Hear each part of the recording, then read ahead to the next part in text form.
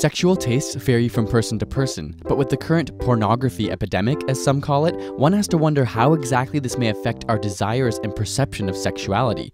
Moreover, how does it affect our sex lives? Pornography constitutes about 25% of all search engine requests and is the fourth most common reason people give for going on the internet. And while it may seem to simply facilitate an instinctual sexual response linked to millions of years of evolution, the truth is, pornography has dynamically changed over time, ultimately molding our tastes and desires. The not so shocking truth is that pornography has profound consequences for the brain and acts in many ways like a drug. With prolonged exposure, your tolerance is increased, and many often find themselves addicted. Though it's not a physical substance, it leads to the same general loss of control, the compulsiveness to seek out the activity despite negative consequences, and withdrawal when it goes away, much like that of gambling or running, for example. The issue is that continued exposure can cause long term or even lifelong neuroplastic change in the brain. Dopamine is released as a reward whenever we accomplish something, whether it be eating to sustain life or sexual activity to produce future life. And this dopamine consolidates neural connections in order to drive us to perform the same activity in the future. In other words, it alters and forms the brain cells to motivate certain actions. It rewires your brain. The National Institutes of Health measure drug addictiveness by testing rats. The rat is trained to press a button in order to get a drug, and the harder it works indicates how addictive the substance is.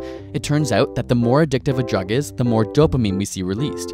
And while there is, unfortunately, no rat porn that we can give to them, we do know that dopamine is also released during sexual excitement, which pornography plays right into. The more time you spend doing it, the more dopamine gets released, which reinforces the behavior and makes you not only desire it in the future, but require it. And as you begin to imagine these images away from the computer or while having sex, they become reinforced. Furthermore, each orgasm releases even more dopamine, which consolidates the connections made during the session. It's a feedback loop that becomes harder to escape. And just like a drug, your tolerance for visual stimulation has now compounded, making it more difficult to be turned on by reality. Pornography addiction can often lead to finding your mate less attractive. The good news is, it doesn't have to be permanent. Usually, when people understand the mechanism and realize it's affecting their relationships, they can stop. The brain is often described as a use it or lose it system because the neural connections you stimulate grow stronger and desire to be activated, while the ones you ignore become weakened. Much like your muscles, which, if sitting still all day, itch for activity, but after prolonged non use, they become complacent. Luckily, because of this use it or lose it brain, the same neuroplastic system that proliferates these habits can also be used to acquire healthier ones. Got a burning question you want answered? Ask it in the comments or on Facebook and Twitter, and subscribe for more weekly science videos.